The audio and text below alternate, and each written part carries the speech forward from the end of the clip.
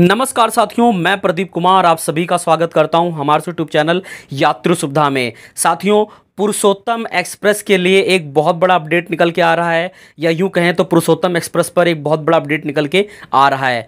चलिए जानते हैं कि पुरुषोत्तम एक्सप्रेस पर आखिर आखिर अपडेट क्या है, क्योंकि साथियों, पुरुषोत्तम एक्सप्रेस एक बहुत ही इंपॉर्टेंट ट्रेन मानी जाती है, जो कि नई दिल्ली और पुरी के बीच में चलती है। साथियों train number one two eight zero one Puri नई दिल्ली पुरुषोत्तम एक्सप्रेस।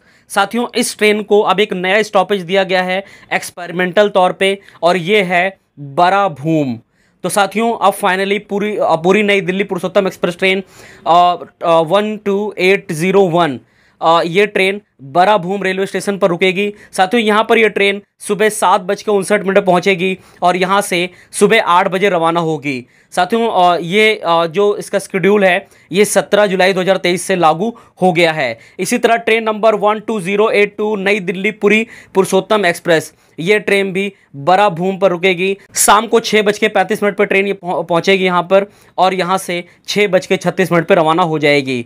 और सत्रह जुलाई दो हज़ार तेईस से लागू हो गया है। तो साथियों finally train number one two eight zero one या one two eight zero two नई दिल्ली पुरी पुरी नई दिल्ली पुरुषोत्तम एक्सप्रेस अब बड़ा भूम रेलवे स्टेशन पर रुकेगी। ये इसका नया अपडेट है। आपको ये अपडेट कैसा लगा कमेंट करके बताना। वीडियो अच्छा लगा हो तो लाइक कर देना और ऐसी वीडियोस को पाने के लिए चैनल को सब्सक्राइब करके बेल आइकन का नोटिफिकेशन ज़रूर दबा देना। धन्यवाद।